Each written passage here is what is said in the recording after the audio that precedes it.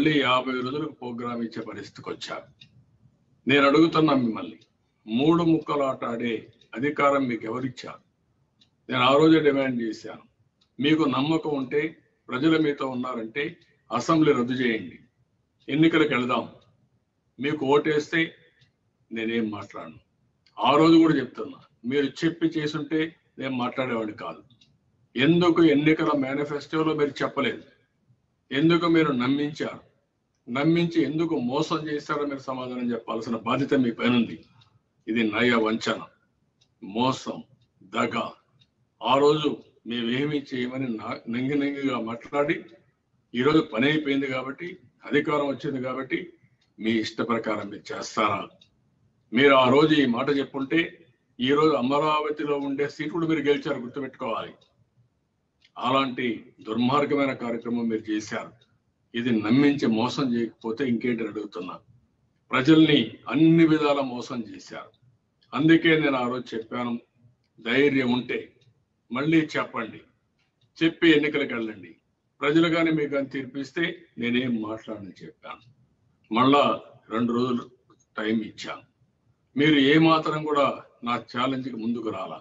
తోక జాడించారు అందుకనే ఆలోచించాను. మళ్ళీ చెప్పాను కనీసం మీరు రెఫరెండం కైనా సిద్ధంగా ఉన్నారనే విధంగా నేను మాట్లాడాను. దానికి కూడా సమాధానం చెప్పే పరిస్థితులు లేరు మూడో ప్రెస్ కాన్ఫరెన్స్ పెట్టాను. కావాలని తప్పుడు ప్రచారం చేశారు. అమరావతి కోసం ఆంధ్రప్రదేశ్ అని. కాదు ఆంధ్రప్రదేశ్ కోసమే అమరావతిని అమరావతి కోసం ఆంధ్రప్రదేశ్ కాదని చాలా స్పష్టంగా ఆ రోజంతా కూడా సాక్ష్యాలు కానీ సమాచారం కానీ మొత్తం ఇచ్చాను. నాలుగో ప్రెస్ కాన్ఫరెన్స్ నేను పెట్టినప్పుడు ఏది అభివృద్ధి ఏది విధ్వంసం? ఈరోజు అమరావతి పైన మీరు ఏదైతే విషయం కక్కుతున్నారో అదంతా కూడా విధ్వంసం తప్ప ఇంకోటి కాదు. ఆ రోజు కూడా మీరు చూస్తే ప్రజా వేదిక కూల్చి అక్కడి నుంచి విధ్వంసానికి శ్రీకారం చుట్టారు. రాష్ట్రాన్ని వల్లకాడు చేయడానికి మీరు ముందుకు పోతున్నారు. బడుగు బలహీన వర్గాలపైన దాడులు చేశారు. ఇష్టానుసారంగా ముందుకు పోయారు. ఆ విషయాలన్నీ కూడా నేను చెప్పాను. ఐదో ప్రెస్ కాన్ఫరెన్స్లో పదమూడు జిల్లాల్లో తెలుగుదేశం పార్టీ చేసిన అభివృద్ధి కార్యక్రమాలు చేశాను. దీనిపైన చర్చకు సిద్ధంగా ఉన్నారని అడిగాను. నేను ఆ రోజు అమరావతి రాజధాని అని అనౌన్స్ చేసినప్పుడు విజయవాడ గుంటూరు మధ్యలో ఉంటుందని అసెంబ్లీలో అనౌన్స్ చేసినప్పుడు ఆ రోజు నేను చాలా స్పష్టంగా చెప్పింది. పదమూడు జిల్లాల సమగ్ర అభివృద్ధి. అదే సమయంలో విశాఖపట్నం ఒక దేశ ఆర్థిక రా- రాష్ట్ర ఆర్థిక రాజధాని.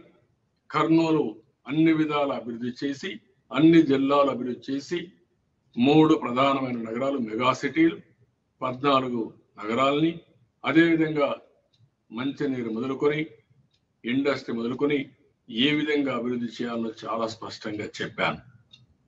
ఆ విషయాలన్నీ డిబేట్ చేశాను దానిపైన కూడా మీరు రాలేదు. మీరు వచ్చే ఉద్దేశం మీకు లేదు.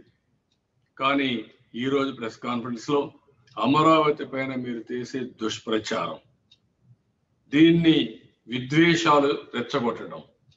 ఈరోజు మనం ఒక్కసారి గుర్తుపెట్టుకోవాల్సిన అవసరం ఉంది. ఎనభై ఐదు మంది ప్రాణాలు పోగొట్టుకున్నారు. దేనికోసం ప్రాణాలు పోగొట్టుకున్నారు?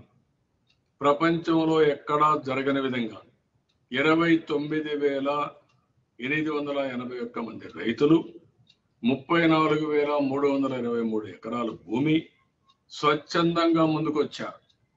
రెండు ఎకరాల కంటే లోపల ఉండేవాళ్ళు ఇరవై ఐదు వేల ఏడు వందల పదిహేడు మంది ఉన్నారు.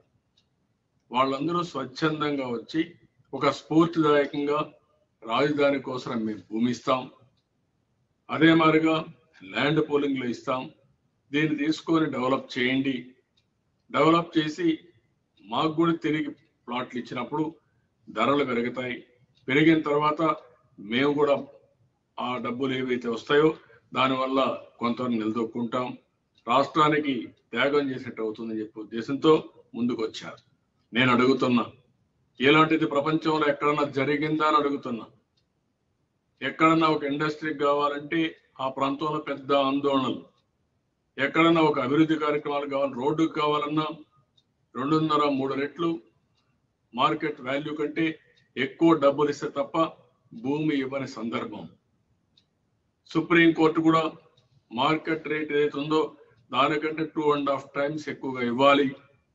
పేదవాళ్ళు ఉంటే వాళ్ళకందరికి కూడా ఆర్థిక సహాయం చేయాలి పునరావాసం కల్పించాలి. అప్పుడే ముందుకు పోవాలని చెప్పి చాలా స్పష్టంగా ఆదేశాలు ఆదేశాలు ఇచ్చే పరిస్థితికి వచ్చింది. ఈరోజు అలాంటి స్ఫూర్తిదాయకంగా వాళ్ళు ముందుకొచ్చి ఈ ప్రభుత్వం పైన ఒక నమ్మకం వస్తే ఆ రోజు చంద్రబాబు నాయుడుపై నమ్మకం కాదు. లేకపోతే ఒక వ్యక్తికో ఒక పార్టీకి ఇచ్చిన భూమి కాదు ఇది. వాళ్ళు ఇచ్చింది రాష్ట్రం కోసం ఇచ్చారు. రాజధాని కోసం ఇచ్చారు. రాష్ట్రానికి నడిబొడ్డునుంది. కృష్ణా నదీ తీరానుంది. ఇక్కడ కానిస్తే ఈ ఇది డెవలప్ అవుతుంది.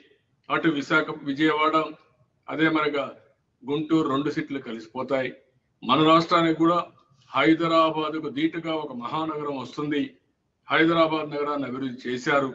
మళ్ళీ అభివృద్ధి చేసే సత్తా ఉందనే ఉద్దేశంతోనే నమ్మకంతో ఆ రోజు ముందుకు వచ్చారు.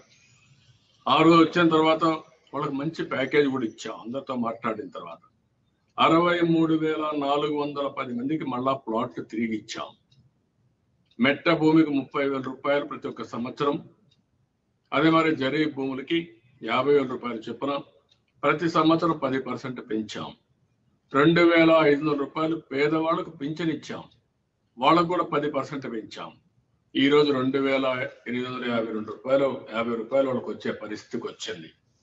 అలాంటి వాళ్ళు ఈ రోజు రోడ్డెక్కి రెండు వందల యాభై ఒక్క రోజుగా ఆందోళన చేస్తా ఉంటే మీకు కనికరం లేదా అని అడుగుతున్నా.